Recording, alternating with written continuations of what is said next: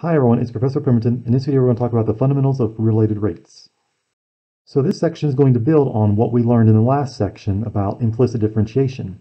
So if you have several variables or you have quantities that are related to each other, and some of the variables are changing at a known rate, then we can use derivatives to determine how rapidly one of the variable changes based on how fast another variable changes. So the problem of finding a rate of change from other rates of change is what's called a related rates problem. So in particular, if the variables x and y are related by an equation, and both x and y are functions of time, then we can use implicit differentiation that we learned previously to find the rates of change for both of the variables with respect to time t. After taking implicit differentiation, then you'll have several rates of change involved. You'll have dx dt, so the derivative of x with respect to time. You'll have the derivative of y with respect to t, and you'll figure out an equation that involves dx dt and dy dt, or x prime and y prime. How are those two rates of change related? So in this video, we're going to solve application problems from business, economics, social science, life science, and physical sciences using related rates. So let's start talking about the fundamentals of related rates. We're going to first familiarize ourselves with the mathematics of related rates problems, and then we're going to apply the concept to application problems. So implicit differentiation is used to find the derivative of an equation involving multiple variables like x and y, but in this section, since we're talking about x representing a function of time and y is a function of time as well, then when we take the derivative, we'll have x prime and y prime, and those are dx dt or dy dt. So example one, related rates problems.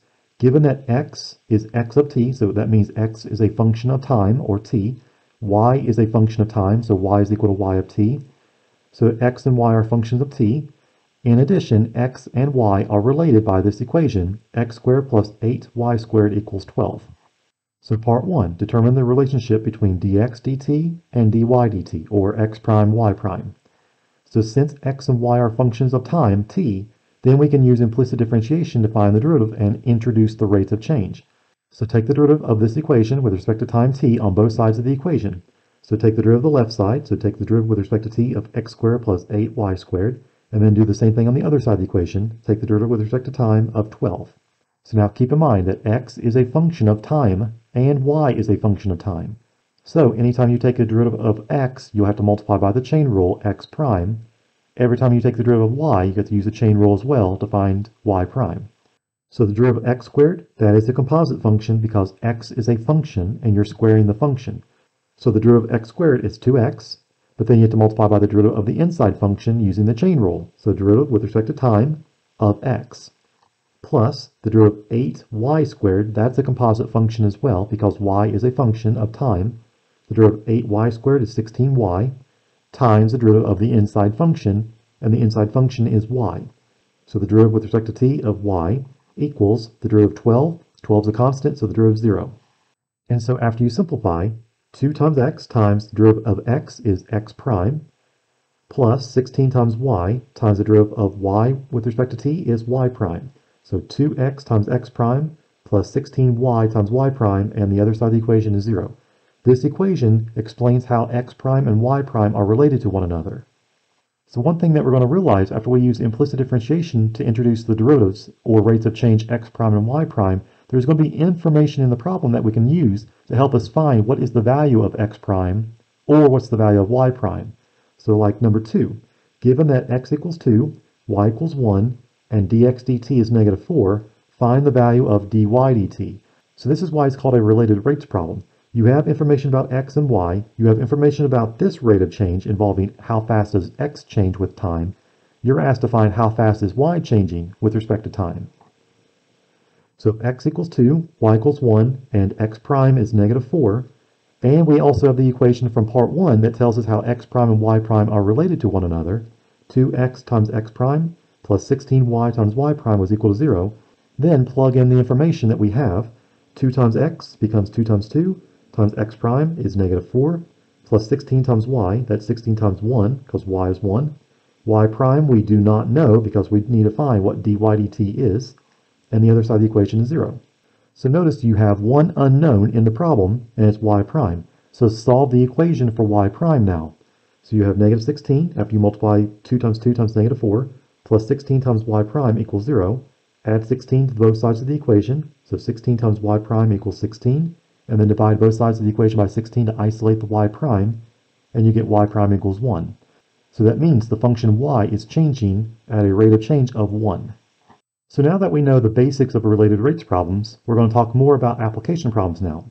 One of the most difficult steps in solving related rates problems is always about obtaining the equation that relates the variables in the problem, or if you have variables x and y.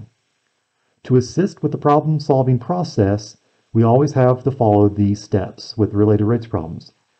The steps for solving related rates problems. So number one, sketch a picture, if relevant, and identify all relevant variables. So in the problem, they may tell us the variables and how they are related using an equation, but most of the time you may not have an equation and you may not be told what the variables are. So whatever's changing in the problem, that needs to be represented with a variable. And it helps to sketch a picture to help you find out what is that formula that relates all the variables together. Number two, find an equation connecting all the relevant variables.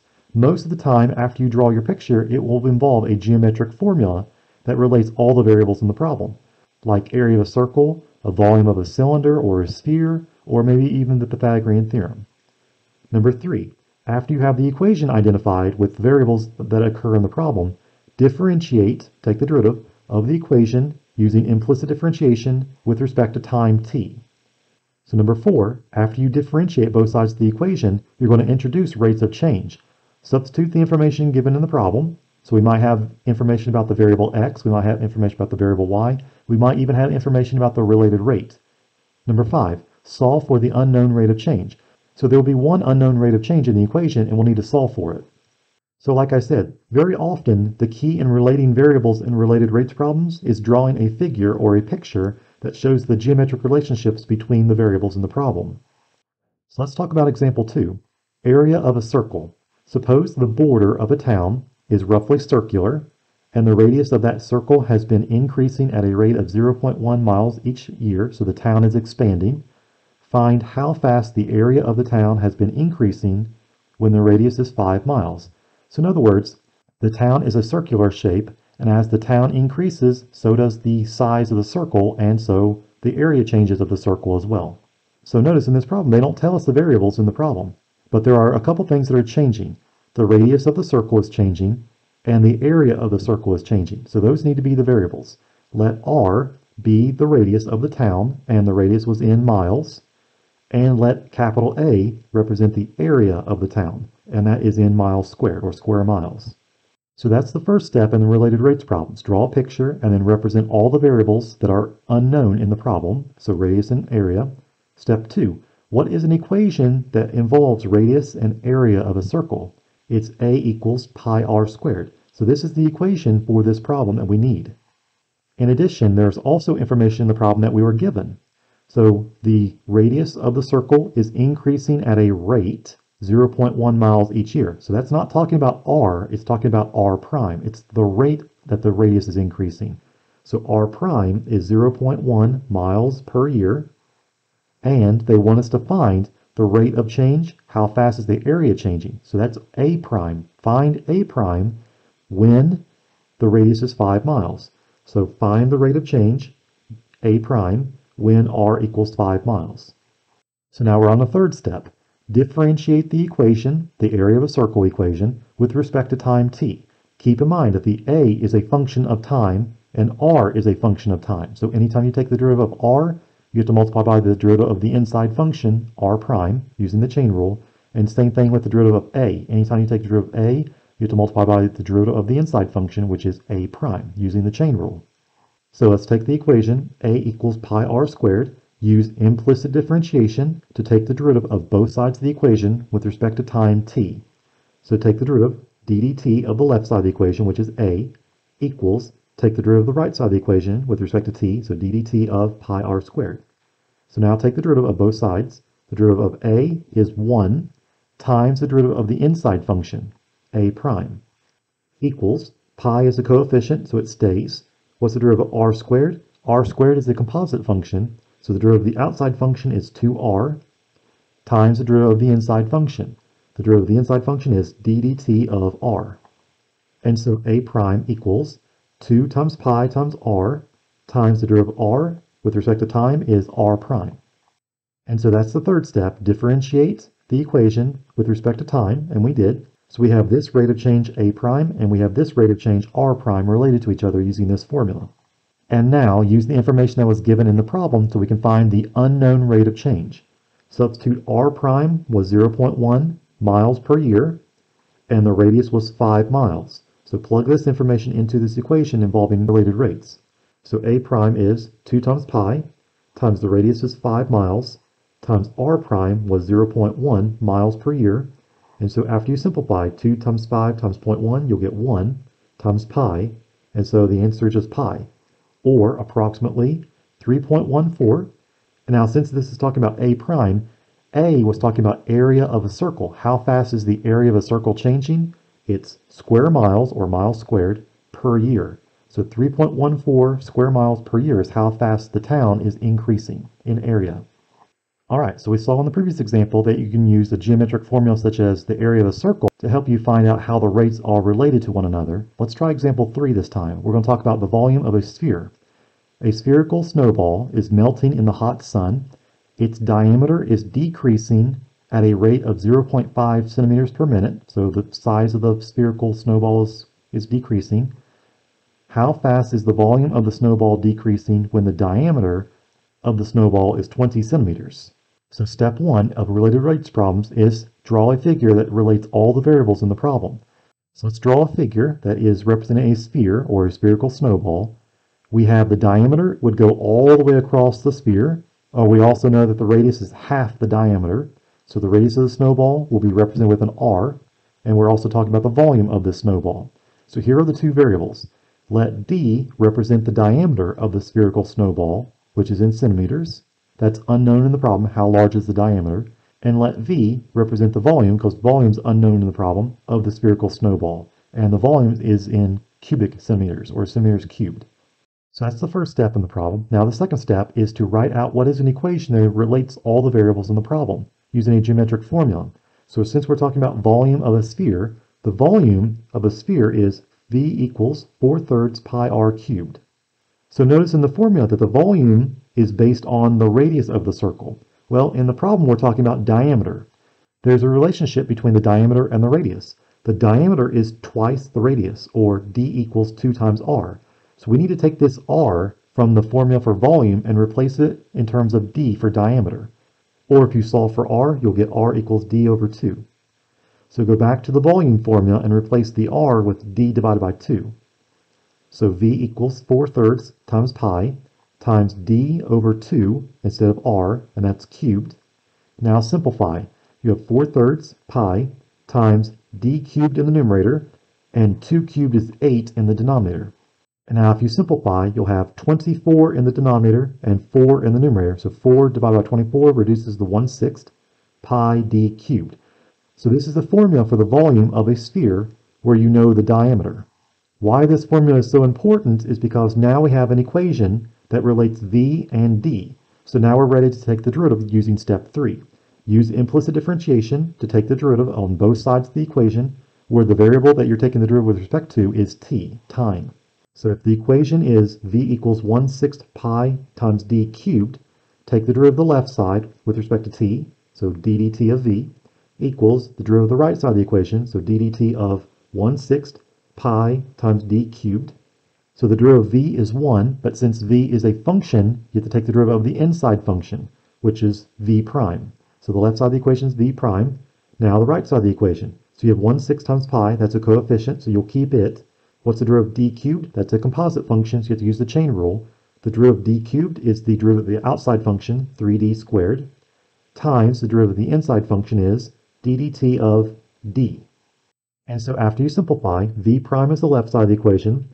3 divided by 6 reduces the 1 half times pi times d squared. And the derivative of d with respect to time is d prime. So notice what we have. After we've taken the derivative, we have v prime is a related rate on one side of the equation, and we have d prime is the other related rate on the other side of the equation. So now we can substitute information that was given in the problem for d and d prime. d prime is telling us how fast is the diameter changing. Well, the diameter was decreasing by 0.5 centimeters per minute. So since the diameter is decreasing, it's going to be a negative value. So d prime is negative 0.5.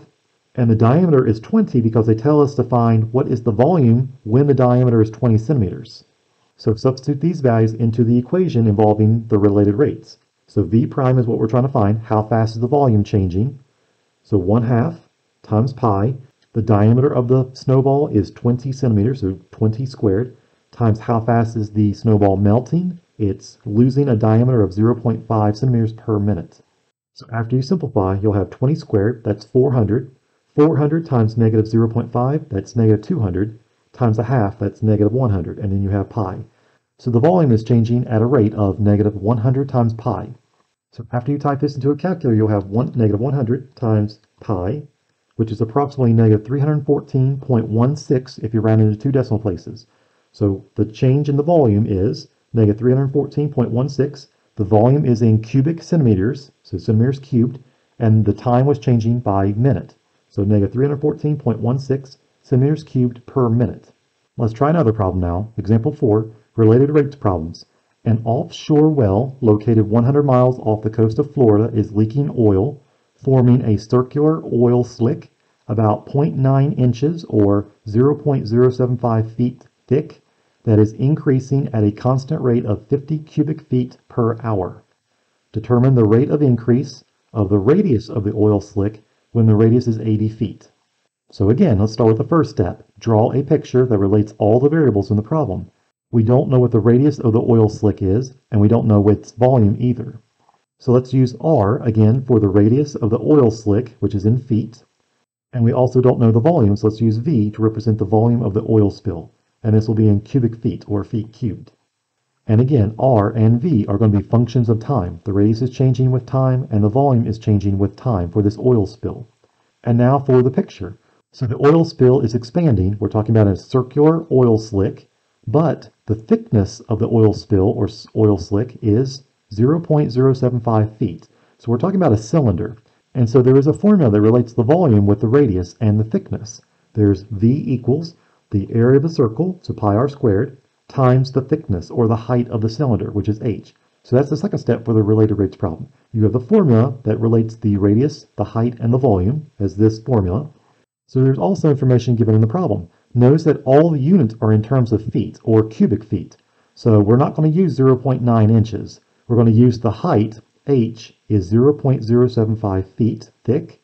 And now we're going to find what is the rate of increase of the radius. So we need to find what is r prime when the radius is 80 feet and the volume is changing at 50 cubic feet per hour. So V prime is 50 feet cubed per hour.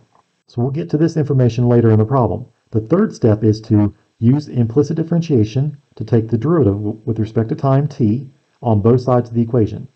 So here's our formula that relates volume, radius, and height of a cylinder. We're going to take the derivative with respect to time.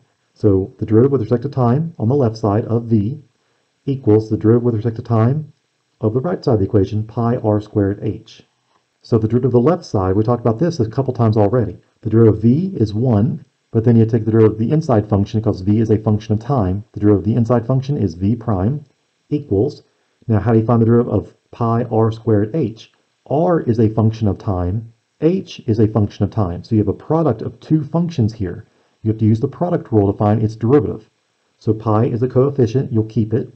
Now use the product rule. You have the first function, r squared unchanged, times the derivative, so d dt of the second function, which is derivative of h, plus the second function stays the same, times the derivative with respect to time of the first function, which is r squared. So all this is multiplied by pi, the coefficient. So now we're ready to take the derivatives. v prime is pi times r squared is the first function, unchanged. The derivative of h is h prime, plus h is the second function, unchanged. What's the derivative of r squared? r squared is the composite function, so the derivative of the outside function is 2r, times the derivative of the inside function, so ddt of r. So this means that v prime is equal to pi times r squared times h prime plus 2h times r times the derivative of r with respect to time is r prime. And so now we have a formula that relates the related rate for the volume with the related rate of the radius. So substitute in the information given in the problem. The radius was 80 feet. h prime is 0 because the oil thickness is not changing, the volume is changing though. It's 50 cubic feet per hour. So plug this information into the equation that we found for the related rates problem. The left side of the equation is 50 for v prime equals pi times the quantity r squared, so that's 80 squared, h prime is 0, plus 2 times h, the thickness is 0.075, and then the r is 80. Information about r prime is what we're trying to find. We want to find what is the rate of increase of the radius. So r prime is the unknown in the problem. So the left side of the equation is 50 equals pi times 80 squared times 0, that's 0, 2 times 0.075 times 80, that gives you 12, times r prime. So now we're solving for r prime, so divide both sides of the equation by 12 and pi. So r prime is 50 divided by 12 and divided by pi. So 50 divided by 12 pi, which is approximately 50 divided by, make sure you have the denominator in parentheses because you want 12 times pi first. You get 1.33 when you round the two decimal places. So r prime is about 1.33 Radius was in feet, so this is feet per hour. So the radius of the oil slick is increasing 1.33 feet per hour. So let's try one more problem. The last couple examples involved a geometric formula. This time we're going to talk about business application. So example 5, rates of change in advertising and sales. An appliance company selling refrigerators in Michigan has monthly sales and advertising expenses related to the equation x times y, subtract 11.2 times x plus 30 times y equals 0, where X represents the amount spent on advertising in thousands of dollars, and Y represents the number of refrigerators sold, thousands of units. At present, the company sells 3.2 thousand refrigerators and has a monthly advertising expense of $12,000. The company decides to increase the monthly advertising expenses at a rate of $1,400 a month, determine the rate of increase of the appliance company's sales. So there's a lot of information given in this problem. You have the equation given to you in the problem, so we don't have to actually have to find the equation. It's provided here, but we also have information about x and y and a rate of change. So we are told that there are 3.2 thousand refrigerators sold. Y is representing the number of refrigerators sold, so Y is 3.2 thousand refrigerators. When the monthly advertising expenses is 12,000, X is talking about advertising amount, so X is $12,000 and we also have a rate of change given in the problem. The company decides to increase the monthly advertising expenses at a rate $1,400. So that's $1.4 thousand per month. So we have an equation and we also have these values given in the problem. But we know we have to use implicit differentiation because x is a function of time, y is a function of time. So use implicit differentiation to take the derivative with respect to time on both sides of the equation. So here's the equation given in the problem x times y, subtract 11.2 times x plus 30 times y equals 0. Take the derivative of the left side of the equation with respect to time, so ddt of the left side of the equation equals the derivative of the right side of the equation with, with respect to time, so ddt of 0. Now notice you have x times y. x is a function of t, y is a function of t, so this is a product of two functions. You have to use the product rule. So first function, x, times the derivative of the second function, so ddt of y, plus the second function unchanged times the derivative of the first function, so times ddt of x. Subtract 11.2 times x, so the derivative of the outside function is 11.2. Now, since x is a function of time, you have to multiply by the derivative of the inside function using the chain rule, so ddt of x plus 30 times y. Again, y is a function of time, so the derivative of 30y is 30 times the derivative of the inside function, ddt of the inside function is y. And the derivative of 0 on the other side of the equation is 0. So let's take all the derivatives. We have x times the derivative of y, so that's x times y prime, plus y times the derivative of x, so that's y times x prime. Subtract 11.2 times the derivative of x, again that's x prime, plus 30 times the derivative of y is y prime equals 0. So you have an equation that relates x prime and y prime with this equation. So now we're ready to plug in the information that was given in the problem. y is 3.2, x is 12, and x prime is 1.4. So after you plug in those values into the equation, you'll have 12 times y prime plus 3.2 times 1.4 for x prime minus 11.2 times 1.4 again plus 30 times y prime. Now y prime we don't have any information about, but that's what we're trying to find in the problem. Determine the rate of increase of the company's sales. So that's talking about how fast the sales increase in the refrigerators, which is y prime. So 12 times y prime plus 3.2 times 1.4, that's 4.48. Subtract 11.2 times 1.4, that's 15.68, plus 30 times y prime equals 0. Combine any like terms you have, so 4.48, subtract 15.68, and then move it to the other side of the equation away from the y prime, so you'll get 11.2. 12y prime, 30y prime, that's 42y prime, so 42y prime equals 11.2. And now we want to solve for y prime, so divide both sides of the equation by 42. y prime is 11.2 divided by 42, which is approximately 0.27 when you round the two decimal places. So y prime is approximately 0.27. Now y was talking about thousands of refrigerators sold, so this is 0.27 thousand sales of refrigerators per month because time was given in months. So this finishes our discussion on the fundamentals of related rates problems. If you have any questions about any of the examples in this video, please let me know. Or if you have any questions while you work on the homework for this section, please let me know that as well. And I'll see you at the next video when we talk about related rates and motion problems.